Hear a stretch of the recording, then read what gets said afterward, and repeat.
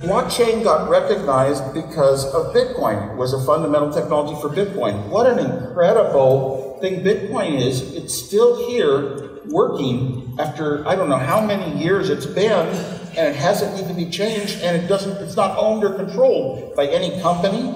So we recognize we said blockchain now allows you to have no central control. Everything's diversified and because everything has records that are duplicates of each other, it's totally trustable. There can't be any mistaken uh, records in there. Blockchain with, with things like Ethereum lead to APIs. Ethereum can be used as a platform to develop other things in life, such as real estate sales. They keep constant ledgers, the whole ledger history of things, you know, that matter. That would matter for real estate. It might even matter for sales. It might matter for minerals that are um, that are put into products. So it, there are a lot of these astounding things that, that blockchain can do to change life. It's kind of like in 2000, we looked at the internet and said, look at all these things that could be done by the internet that would change our life someday and, and we'll really be onto it. Do you see all the companies invested and then it went, it went bust.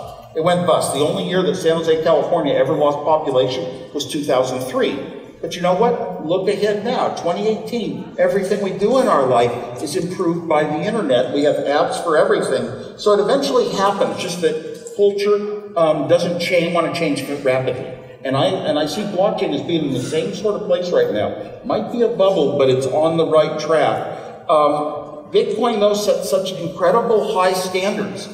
Bitcoin is there and nobody runs it and owns it, and yet it works so well and we think, oh, that will be the outcome of everything else. Bitcoin is limited to how many Bitcoin can ever be produced, unlike real currency, which governments can just create as much more of as, as they ever want to. You know, we're, we're getting down to something that's more realistic and defined by nature. Things defined by nature mean a lot more to me than things defined by human beings.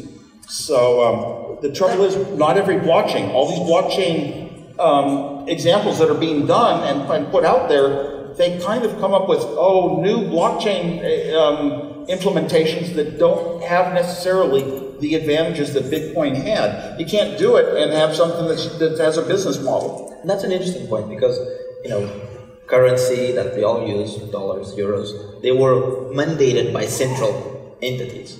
Blockchain is completely decentralized. So if you look further ahead, you know, 20 years, 30 years, 50 years, would you would you say that we would be you know paying each other for whatever services we would being rendered using a non-centralized but still recorded and accountable mechanism as opposed to be dependent then of, of mechanisms that can be used for you know um, centrally controlled? I love it when we come up with changes that might be so good to humanity and I follow it and I loved reading an article not too long ago about Jack Dorsey one of the founders of Twitter and Square, the fintech company, um, and he was saying that, oh, in 10 years, everything was going to be done by digital currency, Bitcoin mainly. Cointelegraph. Like, subscribe, and hodl.